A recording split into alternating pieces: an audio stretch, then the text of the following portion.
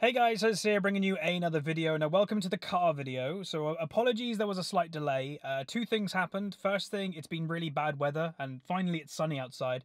Second thing is I had recorded this once, but then I got back to edit it and I recorded it with the wrong microphone. So I've now checked and it is with the right microphone, so yay! Uh, so before we get into the car itself, I just thought I'd explain a few things. First thing is why am I doing this video?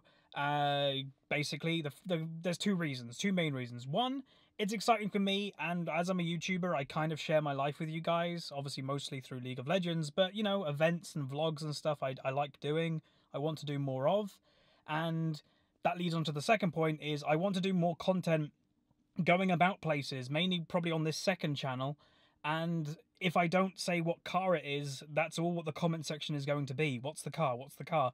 So I can make this video, and then from the future, I can just say, go watch that video. It explains everything. So that's the main reasons I'm doing this. It's also going to be on the second channel because for those people that aren't interested, they don't have to watch it. For those are interested, it's on the second channel. It doesn't affect the main channel. I thought that was just the best thing to do. So let's finally get on to the car itself. So what is it? Uh, why did I get this specific one? And then I'll show you all around it. So it is, I'm pleased to say, a BMW 2 Series Coupe. It is the 218i, which does include to have a turbo in it. And uh, it's brand new, um, but there is a little story behind that. It was actually pre-registered. Uh, so basically, if you don't know what pre-registered is, it's basically a brand new car but because the dealership has certain targets to register new cars and they haven't sold enough, the dealership registers a brand new car to the dealership. So technically, I'm the second owner to this car, but I picked it up when it had like five miles on the clock. Like it had, it was brand new. Uh, but being the second owner, it meant the price got chunked down. And the cool thing with this one is, well, one of the negatives of pre-registered is you don't build it yourself. I was planning to go for a new one, and obviously I was going to pick all my options. It was already on the forecourt, like it was brand new, already built, so I couldn't really change anything. And there, there's only one big thing that I don't really like about it. Other than that, it's really good. I'll show you guys that it's got some upgrades that you normally don't get, uh, unless you literally spend thousands to get this stuff.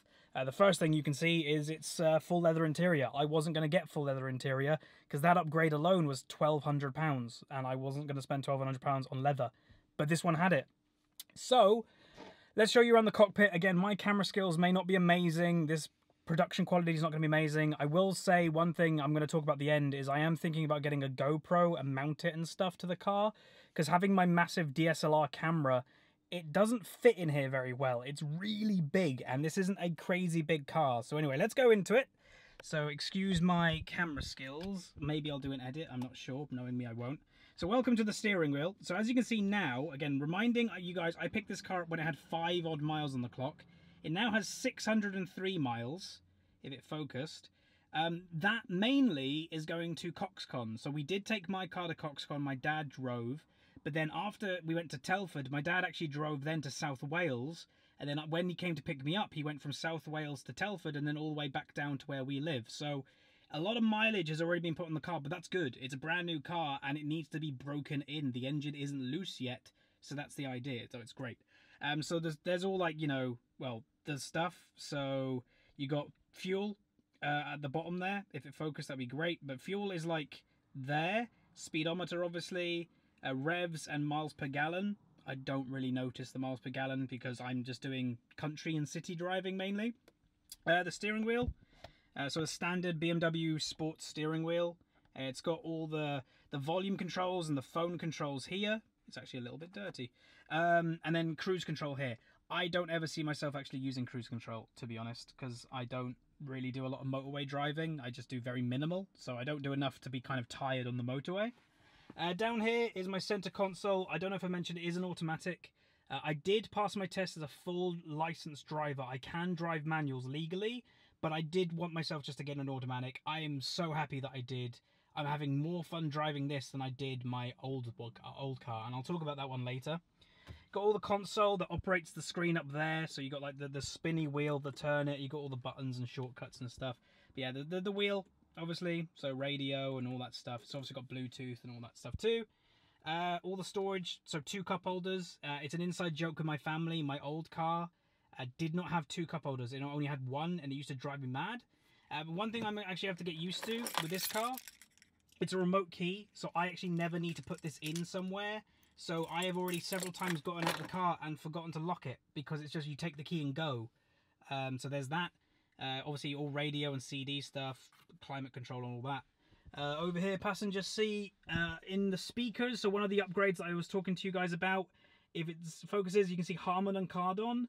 Uh, yeah, that's the upgraded hi-fi system that was in this pre-registered car. I wasn't going to get that. That option alone is £700 extra. But I'm really happy this car has it. It's a really good audio system. Um, center console, obviously. And then obviously handbrake.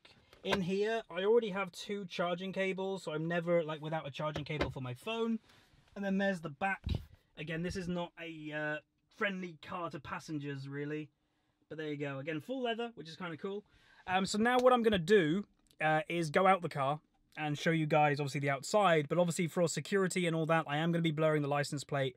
And I'll probably, to make it easier on myself, kind of like cut from when I'm showing the front, then cut to show the back, and then obviously the side will be fine. But yeah, right now, I think I'll get out and show you the front. But I guess a lot of people like hearing the car door noise, so there you go. Okay, so there is the car to the side. Uh, and again, one of the other options this car had was the 18-inch alloy upgrade. Again, wasn't going to get those, it just came with it. So now I'll show you the front. Okay, so obviously going to be blurring my license plate, but there's the front of the car. Kind of looks very sporty from the front, to be honest. I kind of really like how it looks. So there you go. There's the rear of the car, again blurring, but again, looks pretty good.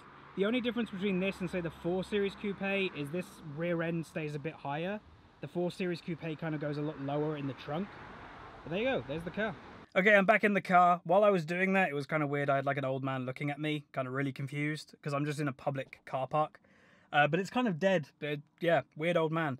Um, but overall, that's the car. Uh, hopefully you guys got a pretty good glimpse of everything in it. Uh, I'm incredibly happy, obviously.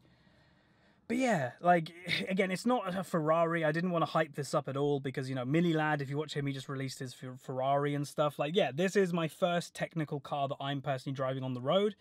I literally bought this car the day of passing my driving test. So now, just to quickly go over the story of Huz, what about your old car? You bought one a year ago. Uh, so a year ago, I did actually buy a 1 Series, again, BMW 1 Series. Uh, but the problem was I never clicked with that car very well. I really didn't like the clutch. And also, then I had laser eye surgery, so that delayed me passing my actual driving test because I needed to build confidence again with my eyes. So when it came to me kind of the last couple months actually driving again and going to pass my test, I just thought to myself, I'm just going to get an automatic. You know, this car, just to kind of say, yes, it was expensive. It's it's a decently priced car, but I'm doing it on finance. Obviously, I did give a pretty good deposit but it's not breaking the bank. It's very affordable. My insurance even wasn't that expensive, to be honest. Like I was a lot cheaper than I was expecting because this car does have the word sport in it, um, and obviously being a brand new technical driver. Um, but no, overall, very happy. Um, people say, is there anything I would have liked with it? Obviously, yes, because it's pre-registered. I didn't get to pick the options. I was pretty set on getting the blue version of this car, and obviously I didn't but I still really like the black. Like again, other the other optional extras, I can't literally go over all of them because there's way too many. But the chrome that you saw, that's an optional extra. You don't get that as standard. But no, I'm very very happy with it, and you guys will probably see content in it in soon. Uh, I am thinking about buying a GoPro. You guys can leave, you know, should I do that or not? Uh, I'm always going to be safe about it. You know, I'm never really going to vlog in the middle of a Cambridge city centre because there's too many cyclists. You have to really pay attention in there. But you know, just driving around these type of areas, going to the gym and back, that's when I probably vlog and that's when I do Q&As, updates on my health uh, with weight loss and stuff because now I've got the freedom to go to the gym. Um, which is awesome. And uh, obviously, again, just other little things in this. Obviously, it's got the standard, you know, the automatic lights, uh, windscreen wipers, uh, all that stuff. So what we'll do to end the video, I guess, hopefully this video was enough. Uh, I guess the only thing I didn't show is like opening the bonnet and the boot, but they're standard. You know, it's just, it's just a BMW engine and a boot, so there's nothing really to show. Uh, but I guess I'll just start the car to end the video. So there you go. Hopefully the camera or hopefully the microphone picked that up. If it did, great. If it didn't, oh well. But that's going to be it. Hopefully you guys did enjoy. If you've got any questions about the car or anything like that, I know a big one is going to be how much did it cost. I don't really want to specifically go into price. You can look it up again. Just to say the BMW uh, cars have three levels of trim uh, SE Sport and M Sport. This is a Sport, it's the middle range and it's fully specced out. So if you want to find out and you really want to find out, just go spec out a brand new 2 Series Coupe Sport trim, fully specced out, if you really care about how much it was. But that's going to be it. My AC just kicked on, so I'm going to go back home and record more videos, edit this one, and probably release it, to be honest. So, yeah, let me know. Go, let me know what you guys think. I know BMW isn't for everybody.